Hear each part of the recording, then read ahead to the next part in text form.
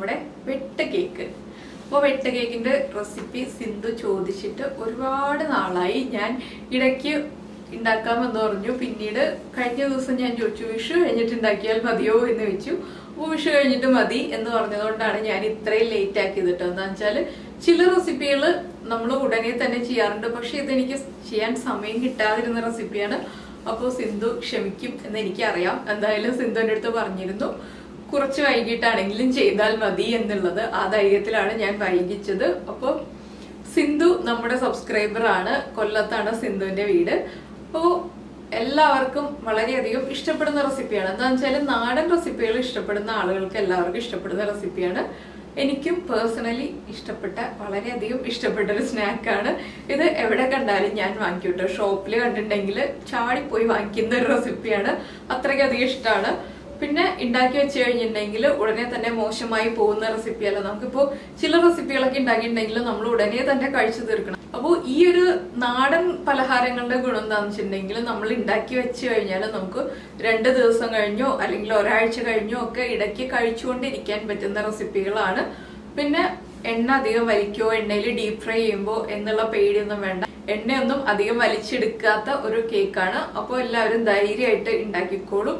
അപ്പോൾ നമ്മുടെ ഫോട്ടോയ്ക്ക് ഒരു ചെറിയ ഭംഗി ഉണ്ടായിക്കോട്ടെ എന്ന് വിചാരിച്ചിട്ട് മാത്രമാണ് ഞാനിപ്പോൾ കുറച്ച് ഫുഡ് കളർ ചേർക്കുന്നത് നമ്മളെ വീട്ടിലുണ്ടാക്കുമ്പോൾ ഫുഡ് കളർ ചേർക്കണ്ട എന്താണെന്ന് വെച്ചാൽ ഞാനൊരു നയന്റി നയൻ പെർസെന്റേജ് റെസിപ്പികളിലും ഫുഡ് കളർ ചേർക്കാതെ തന്നെ നമുക്ക് നാച്ചുറലായിട്ട് കൊടുക്കാൻ പറ്റുന്ന കളറുകൾ ഇപ്പം ഞാൻ എപ്പോഴും പറയാറുണ്ട് കാശ്മീരി ചില്ലി പൗഡർ ആഡ് ചെയ്യുക. അങ്ങനെയൊക്കെ നമുക്ക് ഭംഗിയാക്കാം എന്നുള്ളതാണ് ഞാൻ എപ്പോഴും പറയാറുള്ള കാര്യം. പക്ഷെ ചില കാര്യങ്ങളിൽ മാത്രമേ നമ്മൾ ഇതുപോലെ ഫുഡ് കളർ ചേർക്കുന്ന കാര്യങ്ങൾ പറയാറുള്ളൂ. അപ്പോൾ അത് താല്പര്യമില്ലാത്ത ആളുകൾ ചേർക്കാതിരിക്കുക.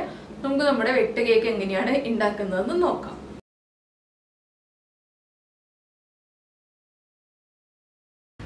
നമുക്ക് നമ്മുടെ വെട്ട് കേക്കിന് ആവശ്യമായിട്ടുള്ള ഇൻഗ്രീഡിയൻസ് നോക്കാം. ഞാനിപ്പോൾ ഒരു കപ്പ് മൈദപ്പൊടിയിലാണ് ചെയ്യുന്നത്. അപ്പോൾ ഒരു കപ്പ് മൈദപ്പൊടി എടുത്തിട്ടുണ്ട്. ഇതിലേക്ക് അരക്കപ്പ് കപ്പ് പഞ്ചസാര പൊടിച്ചതാണ്. പൊടിച്ചതിന് ശേഷമുള്ള അളവാണ് അരക്കപ്പ്. കാൽ teaspoon baking soda baking powder അല്ല. അര ടീസ്പൂൺ ഏലക്കപ്പൊടി ഒരു മുട്ട. പിന്നെ ഫുഡ് കളറാണ് ഇത് ഓപ്ഷണലാണ് നിങ്ങൾ വീട്ടിലുണ്ടാക്കുമ്പോൾ ചേർക്കണം എന്നില്ല. ചേർത്താൽ കാണാൻ ഭംഗി ഉണ്ടാവും ചേർത്തില്ലെങ്കിലും കുഴപ്പമില്ല. നമ്മുടെ കേക്കിനെ കളറിന് വ്യത്യാസം ഉണ്ടാവുമെന്ന് മാത്രമേ ഉള്ളൂ. പിന്നെ ഇതിലേക്ക് നമുക്ക് ഒരു പിഞ്ച് ഉപ്പും വേണം. അതുപോലെ തന്നെ നമ്മുടെ ഈ പഞ്ചസാരയും മുട്ടയും ചേർത്ത് കുഴച്ച് വരുമ്പോൾ ചിലപ്പോൾ ഒരു ടീസ്പൂൺ അല്ലെങ്കിൽ ഒന്നര ടീസ്പൂൺ വെള്ളം ചേർക്കേണ്ടി വരും. അത് നമ്മൾ കുഴച്ച് വരുന്നത് അനുസരിച്ച് പറയാൻ പറ്റുള്ളൂ. അപ്പോൾ ആദ്യം നമുക്ക് ഈ മൈദപ്പൊടിയിലേക്ക് പഞ്ചസാര പഞ്ചസാര പൊടിച്ചതിന് ശേഷം മാത്രം അളക്കുക. ഇല്ലെങ്കിൽ മധുരം കൂടിപ്പോവും. കാൽ ടീസ്പൂൺ ബേക്കിംഗ് സോഡ. ബേക്കിംഗ് സോഡയുടെ അളവ് കൂടിയിട്ടുണ്ടെങ്കിൽ പൊട്ടിപ്പോവും കേക്ക് അതുകൊണ്ട് വളരെ ശ്രദ്ധിച്ച് മാത്രം ബേക്കിംഗ് സോഡ ചേർക്കുക. ഈ അളവുകൾ കറക്റ്റ് ആയിരിക്കണം. പിന്നെ ഒരു പിഞ്ച് ഉപ്പ് ആഡ് ചെയ്യുന്നുണ്ട്. ആ മധുരം ഒന്ന് ബാലൻസ് ആവാനാണ് നമ്മൾ ഉപ്പ് ചേർക്കുന്നത്. അതുപോലെ തന്നെ ഏലക്കപ്പൊടി. ഇതെല്ലാം ചേർത്തൊന്ന് മിക്സ് ചെയ്തതിന് ശേഷം നമുക്കിതിലേക്ക് മുട്ട ചേർക്കാം. അപ്പോൾ നമ്മുടെ പൊടികൾ നന്നായിട്ട് മിക്സ് ആയിട്ടുണ്ട്. ഇനി നമുക്കിതിലേക്ക് മുട്ട ആഡ് ചെയ്യാം.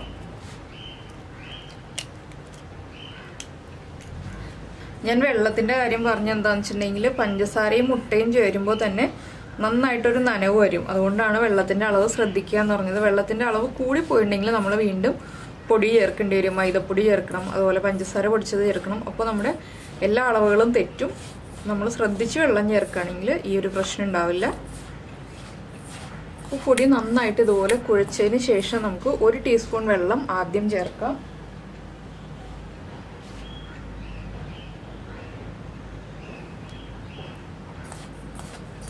വീണ്ടും കുഴയ്ക്കുക. ഇത് മാക്സിമം ഒന്നര ടീസ്പൂൺ വെള്ളം ഉണ്ടെങ്കിൽ കറക്റ്റായിട്ട് കുഴഞ്ഞ് കിട്ടും.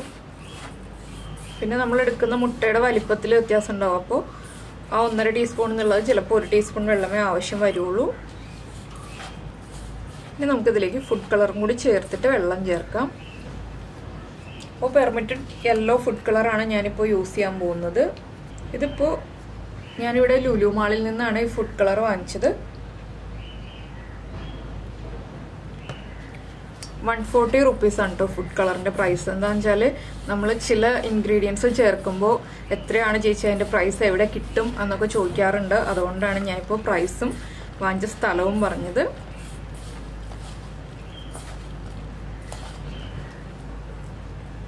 അപ്പോൾ ഞാനിനി അര ടീസ്പൂണും കൂടി വെള്ളം ചേർത്തൊന്ന് കുഴക്കട്ടെ. ഇത് നന്നായിട്ട് കയ്യിൽ ഒട്ടിപ്പിടിക്കും. അപ്പോൾ നമ്മളൊന്ന് കൈ കഴുകിയിട്ട് വീണ്ടും കുഴക്കേണ്ടി വരും.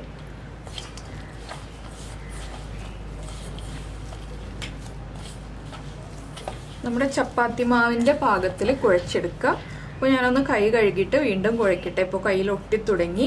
കൈയൊന്ന് നന്നായി വാഷ് ചെയ്ത് തുടച്ചതിന് ശേഷം നമുക്ക് വീണ്ടും കുഴയ്ക്കാം ഇല്ലെങ്കിൽ വെള്ളത്തിന്റെ അളവിൽ വ്യത്യാസം വരും. നമ്മുടെ കയ്യിൽ നനവുള്ളപ്പോൾ അപ്പോൾ ഇതാ നമ്മൾ പൊടി ഇതുപോലെ കുഴച്ചെടുത്തിട്ടുണ്ട്. ഒരു ഇത്തിരി ബുദ്ധിമുട്ടുള്ള പണിയാണ് കുഴച്ചെടുക്കുക എന്നുള്ളത്. എന്താണെന്ന് വെച്ചാൽ കയ്യിൽ ഇങ്ങനെ ഒട്ടിക്കൊണ്ടിരിക്കും. അതുകൊണ്ടാണ് ബുദ്ധിമുട്ടെന്ന് പറഞ്ഞത്. വേറെ ബുദ്ധിമുട്ടുകളൊന്നുമില്ല. അപ്പോൾ ഇതുപോലെ കുഴച്ച് കയ്യിലൊട്ടും ഒരു പ്രാവശ്യം ഞാൻ കൈ കഴുകിയിട്ട് വീണ്ടും കുഴച്ചതാണ്.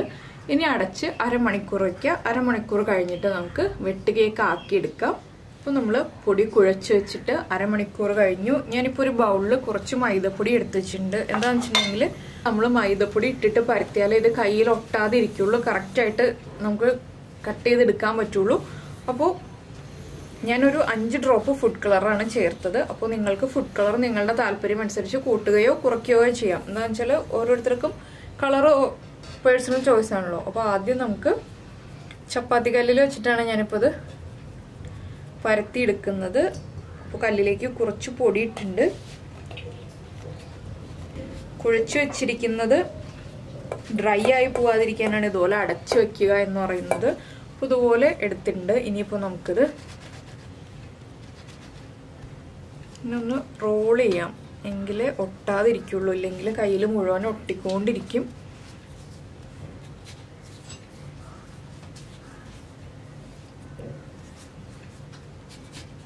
അപ്പോൾ ഇത് ഏത് വലിപ്പത്തിൽ വേണം എന്നുള്ളതൊക്കെ നമ്മുടെ ഇഷ്ടത്തിന് നമുക്ക് തീരുമാനിക്കാം. ഞാനിപ്പോൾ രണ്ടായിട്ട് കട്ട് ചെയ്തിട്ട് ആദ്യം ഒരു ഹാഫ് പോർഷനാണ് വെട്ട് കേക്ക് ആക്കി നമ്മുടെ കേക്കിന്റെ ഷേപ്പിലാക്കി എടുക്കാൻ പോകുന്നത്. അപ്പോൾ അതൊന്ന് രണ്ടായിട്ട് കട്ട് ചെയ്യട്ടെ.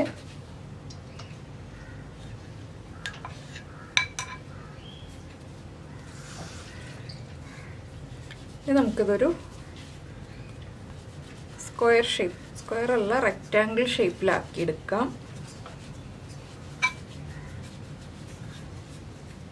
അപ്പോൾ നമ്മളിതിൽ ബേക്കിംഗ് സോഡ ചേർത്തത് കൊണ്ട് തന്നെ ഇത് ഒന്ന് എണ്ണയിലേക്ക് ഇട്ട് കഴിയുമ്പോൾ പൊങ്ങി വരും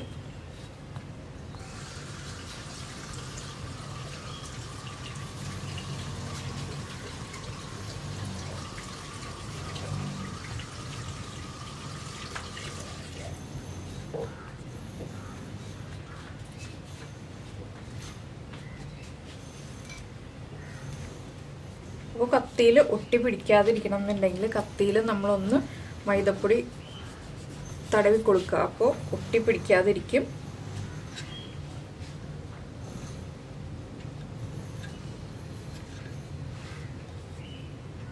വീണ്ടും ഇടയ്ക്കിടയ്ക്ക് മൈദപ്പൊടി തടവി കൊടുക്കുക.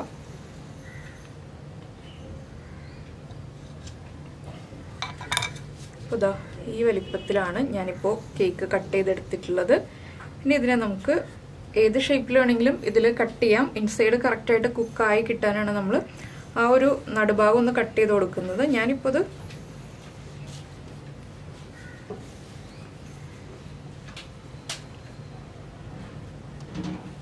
പോലെയുള്ള ഒരു പീസാക്കിയിട്ട് ഇതിന്റെ നടുഭാഗത്ത് ഒന്ന് കട്ട് ചെയ്യുന്നുണ്ട്. അറ്റം വരെ താഴെ വരെ കട്ട് ചെയ്യരുത്. ഒരു മുക്കാൽ ഭാഗം കട്ട് ചെയ്യുക ഇത് കണ്ടോ? ഇതുപോലെ കട്ടായിട്ടുണ്ട്. ഇനി നമുക്കൊന്ന് കുറുകയും കൂടി കട്ട് ചെയ്യാം. ഇനി നമുക്ക് കുറുകെ പതുക്കെ കട്ട് ചെയ്യുക ഒരുപാടങ്ങ് കട്ട് ചെയ്യണ്ട. കണ്ടോ? ഇതുപോലെ കട്ട് ചെയ്തിട്ടുണ്ട്. നമ്മൾ എണ്ണയിലേക്ക് ഇടുമ്പോൾ ഇതൊന്ന് വിടർത്തി ഇട്ട് കൊടുത്തിട്ടുണ്ടെങ്കിൽ കറക്റ്റായിട്ട് വിടർന്നിരിക്കും. അപ്പോൾ ബാക്കിയുള്ളതും ഇതുപോലെ ആക്കിയെടുക്കാം നമുക്ക്. അപ്പോൾ നമ്മൾ നമ്മുടെ വെട്ടുകേക്കെല്ലാം ഒരുപോലെ തന്നെ കട്ട് ചെയ്ത് എടുത്ത് വെച്ചിട്ടുണ്ട്. ഒരു കുഞ്ഞ് പീസും കൂടി ഉണ്ട് കേട്ടോ ആ ബാലൻസ് വന്നത് ചെറുത് ഒരെണ്ണം കട്ട് ചെയ്ത് വെച്ചതാണ്. അപ്പോൾ നമുക്കിനി ഇത് ഫ്രൈ ചെയ്ത് തുടങ്ങാം. ഞാനിപ്പോൾ വെളിച്ചെണ്ണയിലാണ് ഫ്രൈ ചെയ്യാൻ പോകുന്നത്. നാടൻ പലഹാരങ്ങളായതുകൊണ്ടാണ് നമ്മൾ വെളിച്ചെണ്ണയിൽ ഫ്രൈ ചെയ്തെടുക്കുന്നത്.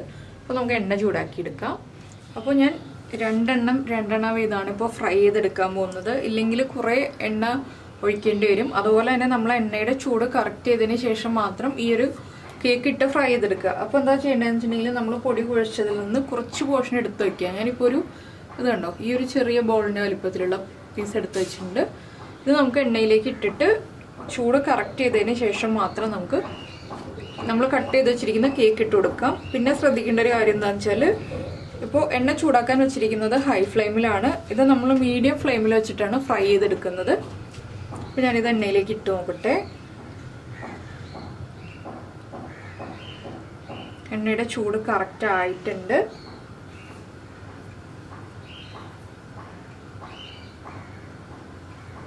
നമുക്കിത് എടുത്തു മാറ്റിയതിന് ശേഷം നമ്മുടെ കട്ട് ചെയ്ത് വെച്ചിരിക്കുന്ന കേക്ക് ഇട്ട് കൊടുക്കാം. കേക്ക് ഇട്ട് കൊടുക്കുമ്പോൾ ശ്രദ്ധിക്കേണ്ട ഒരു കാര്യം എന്താണെന്ന് വെച്ചാൽ നമ്മൾ ഇതുപോലെ പിടിച്ചിട്ടൊന്ന് വിടർത്തുക. അപ്പോൾ ഈ നടുഭാഗം നമ്മൾ കട്ട് ചെയ്തത് കറക്റ്റായിട്ട് വിടർന്ന് വരും. അതിന് ശേഷം എണ്ണയിലേക്ക് ഇടുക കണ്ടോ? ഇതുപോലെ ഒന്ന് പിടിക്കുക.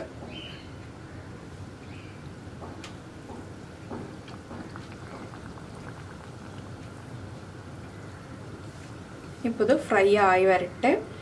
ഇട്ട് ഉടനെ തന്നെ ഇളക്കി കൊടുക്കേണ്ടതെന്ന് വെച്ചിട്ടുണ്ടെങ്കിൽ നമ്മുടെ മാവ് സോഫ്റ്റ് ആണ്.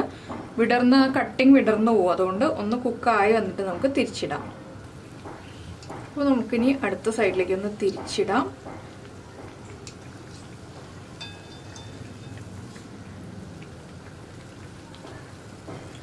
പിന്നെ ഈ കേക്ക് ഉണ്ടാക്കിയിട്ട് ഇന്ന് തന്നെ കഴിക്കുകയാണെങ്കിൽ ഒട്ടും നമുക്ക് ടേസ്റ്റ് പോകുന്നില്ല. നമ്മൾ അടുത്ത ദിവസം ഉണ്ടാക്കിയിട്ട് ഒരു ദിവസം വെച്ചിട്ട് കഴിക്കുകയാണെങ്കിൽ അതിന്റെ ഒരു ബലമൊക്കെ വരുള്ളൂ. ഇന്നിപ്പോൾ വളരെ സോഫ്റ്റ് ആയിരിക്കും. ചെറിയ ബർണറിലാണ് വെച്ചിരിക്കുന്നത്. വലിയ ബർണറിൽ വെച്ചിട്ടുണ്ടെങ്കിൽ കേക്കിന്റെ ഇൻസൈഡ് കറക്റ്റായിട്ട് കുക്കാവില്ല ഇപ്പോൾ നമ്മുടെ വെട്ട് കേക്ക് കുക്കായി വന്നിട്ടുണ്ട്. ഇനിയിപ്പോൾ നമുക്കിത് എണ്ണയിൽ നിന്ന് മാറ്റിയിട്ട് അടുത്തതും ഇതുപോലെ തന്നെ ഫ്രൈ ചെയ്തെടുക്കാം.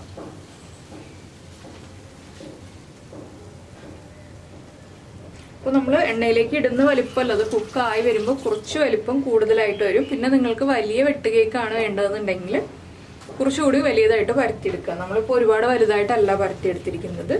ഇതും കുക്കായി വരട്ടെ. നമുക്ക് ഇതുപോലെ എല്ലാം കുക്ക് ചെയ്തെടുക്കാം. അപ്പോൾ ഇതാ നമ്മൾ നമ്മുടെ വെട്ട് കേക്കിന്റെ ലാസ്റ്റ് ബാച്ച് ഫ്രൈ ചെയ്യുന്നുണ്ട്. അപ്പോൾ ഇതുണ്ടോ? കറക്റ്റായിട്ട് കുക്കായി വന്നിട്ടുണ്ട്. ഞാനിതിപ്പോൾ പൊട്ടിച്ച് കാണിക്കുന്നില്ല എന്താണെന്ന് വെച്ചിട്ടുണ്ടെങ്കിൽ ചൂടാണ്. ഇൻസൈഡ് വളരെ സോഫ്റ്റ് ആയിരിക്കും.